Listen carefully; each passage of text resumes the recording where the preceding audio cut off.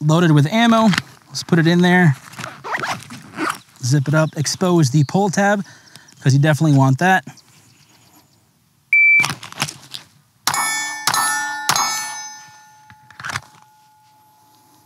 Two point seven seven with a split of 0.61.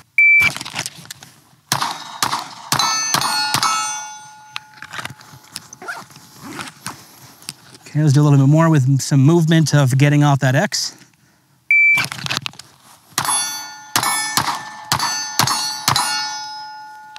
Yeah. What's up guys and welcome back to the John Q channel. Thanks for watching. In this video, we're talking about the favorite item of the year for me, and that is the 945 Industries Tactical Fanny Pack. So let's get into it. You guys have seen my other videos on the 945 Industries Tactical Bag, and I gotta say, you know, like I said in those videos, I do like this bag. And now my question is to people who are watching this for the first time or have been watching my long form videos on this bag is, should you carry one? Should you use one for your everyday carry? And to that I say, good question. Here's the, here's the way I look at it. I carry both uh, in the 945 Industries tactical bag and on my waist. Uh, more specifically, I carry at 12 o'clock right here. To me, like I like that in the summertime. It's it's okay, I use it. But to be totally honest, I've been veering towards the option of this right here uh, for this summer. Uh, sorry if, I, if I'm spitting or like there's these bugs all over and it's just, it's crazy. They're, they're everywhere. Uh, anyway, the, the thing is that I find myself drawing a whole lot faster from the tactical fanny pack than when I, you know, when I'm carrying appendix. Before I get into shooting here, I just want to let you guys know that this video is sponsored by 945 Industries. So if you go to 945industries.com and use my code JQ10 at checkout, your entire order gets 10% off. So go ahead and use that code JQ10. You get 10% off. It's awesome. Very big thank you to the team over at 945 Industries. All right, let's go through some drills here and kind of just show you why I love using this bag every day. So just for reference, I have a steel target. The target is approximately uh, nine to 10 yards away in that distance of the 21 feet rule of, you know, someone coming at you or that distance closing where you have enough time to draw a weapon or defend yourself. So here is, uh, here, here's, here it is. I'm sorry. Okay, maybe not. Let's try that again. All right, here we go. Whoo, baby. That was 1.28 uh, out of the tactical fanny pack. Now, people are going to say, Johnny, you have your hand already on the pull tab. That's cheating. Do it from inside your pockets or up here. And I mean, yes, definitely, you know, okay, here, really quick.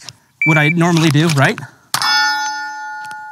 1.54. About the same, not really, but kind of, right? So the reason why I put my hand and leave it on the pull tab is because I want to train myself that if I'm out in public, either by myself with a group of friends or my family, and I see something weird going on, for example, I, I see a fight breakout, and for, and for whatever reason, the guy turns over to us, he gets a knife out or he has a pew pew, he's got a gun.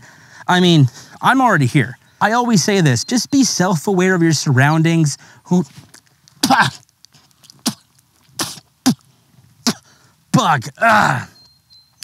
I say be self aware of your surroundings, who you're with, and what's going on. Because for whatever reason, you may be, you know, hanging out, doing your thing, and, and maybe some other guy has pulled out a knife and you have no idea.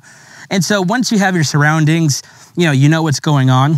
You see something break out, you see a fight, you see a guy coming at you with a pew pew, a gun. I keep saying pew pew because I'm doing TikToks and I, my brain's on pew pew. But you see a guy coming at you with a gun because you've already seen that guy. You've already seen what's going on. Obviously, you should probably leave. But if you can't leave or it's too late, you're already here. Because if that guy starts coming at you slowly, you can do this and then this and then this and say, hey, back up. I got a gun. I, I will defend myself. Back up, back up. You know, start giving commands of, hey, drop the knife, drop the gun. If you don't stop, I'm going to shoot you. And that all makes it possible because A, you were self aware of your surroundings, and B, you had this guy right here. And the pull tab makes it really useful because if you don't have all that time allotted to you and you don't have the luxury of time, well then pull tab, gun out. I mean, it's that quick, it's that fast. And yeah, it's that easy. And I might make it look easy, but that's because I've already had, what, six months with this bag out here training almost every single week with the bag. So I kind of have it to a science to me. That's why I like this pull tab out here. Back to my original question. Should you carry something like this? Well, here's what I say. If you carry a gun for protection, if you carry it every single day, either on your waistband, 12 o'clock, 3 or 4 o'clock, 6 o'clock, whatever it might be, maybe something like this tactical fanny pack might give you a good break. And, you know, instead of trying to bend down awkwardly and trying to get things or uh, getting in the car and it's kind of uncomfortable, something like this could be a good relief for your waistline, for your back, you know, just doing everyday things that you wouldn't normally think about because you're carrying a gun would make it a lot easier because you're carrying something like this. Though this is concealed to an extent, it is outside. It's not under a, a shirt, a jacket, it's not under a sweater. It's out and kind of exposed to the point where everybody who sees you wearing this either thinks, oh, that guy is kind of a fruit, uh, or that guy for sure is carrying a gun. And when I see this on guys, my initial reaction is, oh, that guy's got a gun. For sure got a gun. And so maybe one of the things that you should maybe think about is protecting this at all times, right? So not just not just like doing this outside, not putting your hands in your pocket for a prolonged amount of time. And so dude, I'm done with this video. this is oh man, these bugs are crazy. But just like being aware of, hey, you have a gun on here. It's not completely concealed, but it is in the fanny pack. So yeah, I think it's a great option for those who want a concealed carry in a different way. Uh, if you guys think so, please comment down below. If you disagree, comment down below. I'd love to hear your thoughts uh, on this type of carry. With all of that being said, guys, thanks for watching. Appreciate all the support, and I will catch you in the next Johnny Q video. Peace.